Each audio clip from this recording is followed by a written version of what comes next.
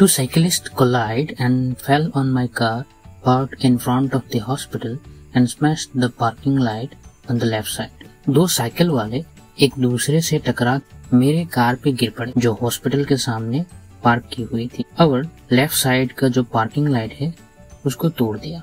It could not ordinarily be replace in this country जो कि usually इस देश में बदल नहीं सकते। The elite shop could produce one if I was prepare to pay two thousand for the piece और जो एलिट शॉप है, जिसका ज़िक्र पहले ऑथर ने किया है, उस पे मिल सकता है, लेकिन वहाँ दो हज़ार रूपया पे करना पड़ेगा। My mechanic inquired why I dent visit New York and pick it up मेरा मैकेनिक जो है, उसने पूछा, मैं न्यूयॉर्क क्यों नहीं जाता उस पार्ट्स को लाने के लिए? I had to remind him as gently as I could that he was talking nonsense मुझे उसको याद दिलाना पड़ा, वो बकवास कर रहा है। एक पार्किंग लाइट के लिए कौन New York York? Then he examined the damage closely and declare O yes only the glass is broken फिर उसने उस डैमेज को अच्छे से देखा और बोला ओह सिर्फ़ ग्लास ही टूटी है। We will fabricate a cover in plastic हम एक प्लास्टिक के कवर चढ़ा देंगे। Though it may be difficult to get the curvature of the original अगरचे ओरिजिनल जो घुमाव है उस लाइट की, उसको रिस्टोर करना, उसको अपनी ओरिजिनल शेप पे लाना मुश्किल है। आई विल ट्राई मैं कोशिश करता हूँ। Briskly he unscrewed the whole assembly and left बहुत तेज़ी से उसने पूरे लाइट की स्क्रू को खोला एंड चला गया। He was away from the workshop for ten weeks on sick उसके बाद वो बीमारी की वजह से दस हफ़्ते के लिए शॉप पे नहीं आया। When I met him again and inquired about the parking light, जब मैं दोबारा उससे मिला और पार्किंग लाइट के बारे में पूछा ही लुक पजल्ड तो वो हैरान दिख रहा था and said I remember I gave it to you और उसने कहा कि मुझे याद है मैंने आपको दे दिया था। I needed only the measurement of the socket मुझे बस सॉकेट की नाप लेनी थी। Please check if it is at home in Mysore आप चेक कीजिए अगर आपने अपने घर मैसूर में छोड़ आए हैं। As a rule I do not like to keep such things with और ये एक रूल है, एक नियम है कि मैं ऐसी चीज़ें अपने साथ नहीं रखता। No further reference was made to the subject उसके बाद कोई बहस नहीं हुई। It was impossible that both of us could be right ये नामुमकिन था कि हम में से दोनों ही सही निकले। One of us must surely have suffered from hallucination हम में से किसी एक को तो हेलोसिनेशन हुआ है। हेलोसिनेशन का मीनिंग होता है ऐसी विजन देखना जो हकीकत में हुआ ही नहीं हो। Either myself seeing vision out the light with the words let me keep it for safety या तो मैंने ऐसे देखा कि उसने लाइट उसने लाइट लिया, ये कहते हुए कि मैं इसको रख लेता हूँ सेफ्टी के लिए। Otherwise the boys in this workshop में स्टील या तो इस वर्कशॉप में जो लड़के हैं, उन्होंने इसको चोरी कर ली है। और he had an illusion of handing it over to me with appropriate words या फिर उसको कोई भ्रम है कि उसने मुझे दे दिया है कुछ कहते हुए। दैट सेटल इट ये सेटल हो गया। I was appalled at the thought of all travel I had undergone in the expenses and considering that actually I had no use of a car मैं शॉक हो गया।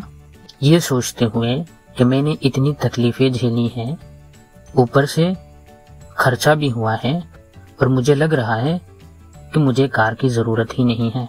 Having no office or outside engagement using it to catch it at the end of a long walk क्योंकि मेरा न कोई office है, न बाहर कोई कारोबार है, और इसको मैं यूज़ कर रहा था सिर्फ़ अपने लॉन्ग वॉक को कम करने के लिए।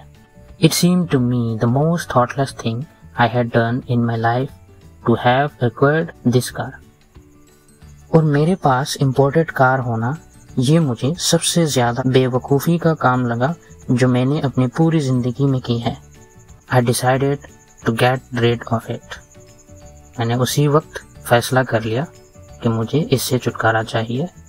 Lock it up in the shed मैं उसको चौल में लॉक कर दूँगा एज सुन एज पॉसिबल जितनी जल्दी हो सके to turn my energies again to writing stories ताकि स्टोरी राइटिंग में मैं अपना एनर्जी दे सकूँ।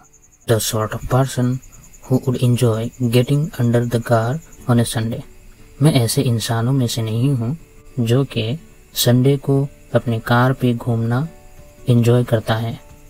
As is the case with a friend of mine who generally spends his leisure hours under his imported car having no trust in any mechanic or workshop in our motherland जैसा कि मेरा एक दोस्त है जो अपने सारे फ्री टाइम अपनी इम्पोर्टेड कार के साथ बिताता है, क्योंकि उसको हमारे मदरलैंड यानी इंडिया के किसी भी वर्कशॉप या मैकेनिक पे एकदम ट्रस्ट नहीं है, एकदम भरोसा नहीं है। All his time is spend in collecting spare parts from far and near उसकी जितनी भी वक्त है, वो सब वो खर्च कर देता है गाड़ी के स्पेयर पार्ट्स जमा करने में, दूर, पास, सब जगह से।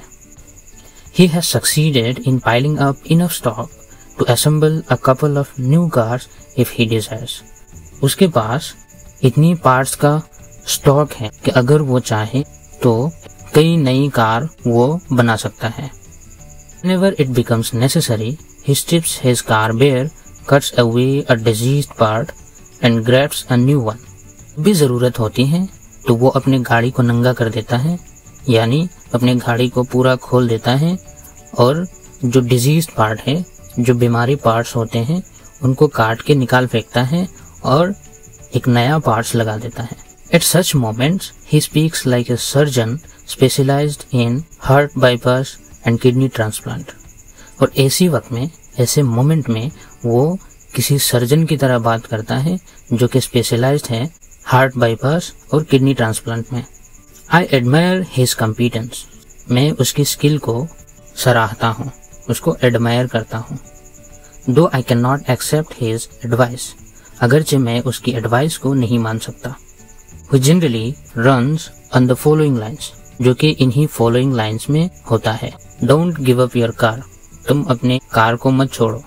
The thing to do is to be on the look out for a similar model तुम्हें बस ये करना है कि तुम्हारी जो कार है, उसकी जो सिमिलर मॉडल है, ऐसी एक मॉडल ढूंढ के निकालना है। Buy it at any price और फिर उसको खरीद लो किसी भी कीमत पर।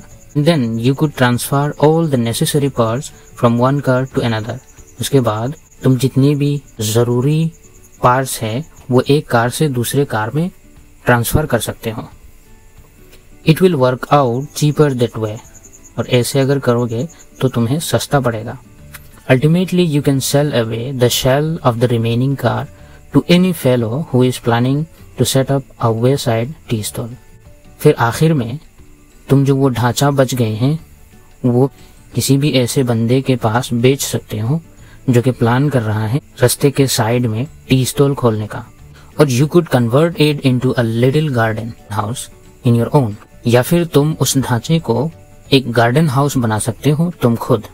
The thing to do is compound तुम्हें बस उनको समेटना है। और कुछ नहीं करना है।